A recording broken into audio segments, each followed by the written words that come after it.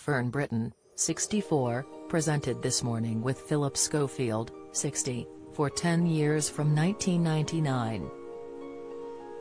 During her time on the show, Fern faced widespread backlash after being accused of lying about how she lost 5 stone while fronting a Ryvita Bikini Fit campaign. The TV star has now looked back on the controversy surrounding her 2006 gastric band surgery, which resulted in her being temporarily taken off air from the ITV show. Speaking on the Postcards from Midlife podcast, Fern claimed ITV took the decision to suspend her for a few days after the news of her gastric band operation broke. Fern began, ITV were not really that helpful. When the story first broke, I went into work that next day, Monday. The press office said to me, do you want us to come and talk to you about it? I said, no, I'll be fine. I'll be fine. The next day, I got a phone call from the ITV boss saying to me, right, tomorrow you have to say, in hindsight, you realize you should have told everybody that you had a gastric band.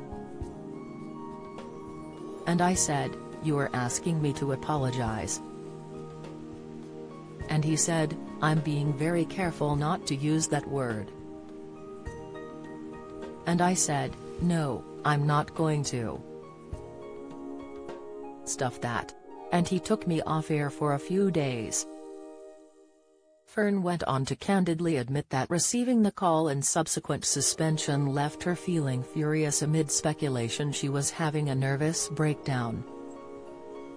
The author continued, so, there were then a lot of newspapers saying I was clearly having a nervous breakdown, obviously. But I wasn't. I was furious. I was reinstated after a few days, but it was not right. It began to erode relationships with people I was working with. Express.co.uk has contacted ITV for comment. Fern had previously spoken out on the controversy surrounding her gastric band surgery and subsequent exit from This Morning. The presenter quit the ITV daytime show, which she had initially hosted alongside John Leslie, in 2009.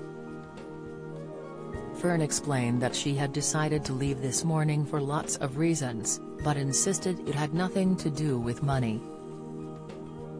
The author confessed that she had ruffled a few feathers before her departure. Speaking to Talk Radio in 2020, Fern said, it was all gastric band gate.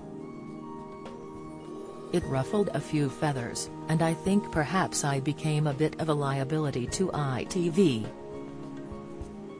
I really don't know. But I know that the day I decided to leave, and I'm not going to get into this now, something happened that morning and I thought, I'm done and ITV went, thanks very much. Goodbye. Fern had also previously been surrounded by claims her departure was to do with pay, but she has vehemently dismissed the rumors. Speaking about what she was paid compared to Philip, she said, that got into a story and it was not to do with that. I didn't know what Philip was earning.